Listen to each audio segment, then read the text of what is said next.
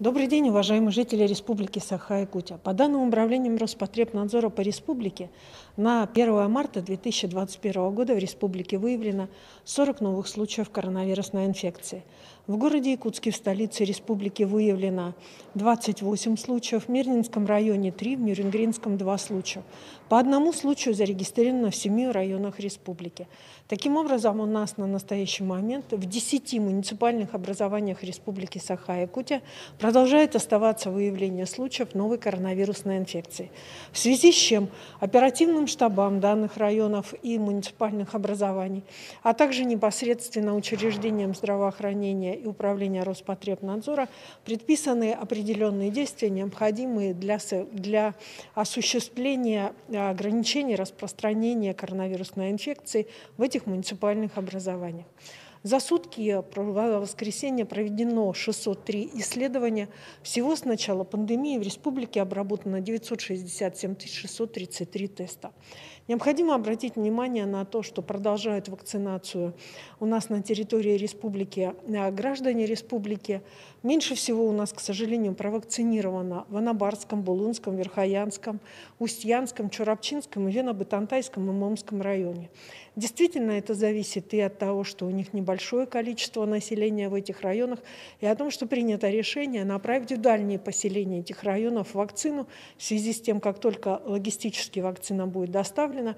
Я думаю, что и они в эти районы значит, свою э, норму по вакцинированию, которая для них определена, также выполнят. Сегодня необходимо обратить внимание, что для нас остается наиболее важным провести достаточно четкое вакцинирование. И вакцинирование прежде всего граждан старшего поколения и лиц, страдающих хроническими заболеваниями.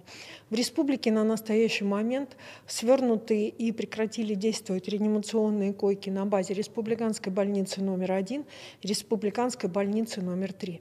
Основным ударным, а, значит, основным ударным стационаром третьего уровня, а, соответственно, остается также нести свою а, значит, ношу, так сказать, медицинскую, продолжает Якутская республиканская клиническая больница. И к врачам и медицинским работникам которых хотелось бы обратиться и пожелать им и терпения, и выдержки, и, конечно же, работы в новых условиях. Сегодня 1 марта, когда указом главы Республики Саха-Якутия, к сожалению, а, не а, значит, удалось нам все-таки преодолеть ситуацию и меры, которые связаны а, с самоизоляцией граждан и режим повышенной готовности продлен по 15 марта 2021 года. Однако для ряда организаций определенные послабления у нас в указе определены.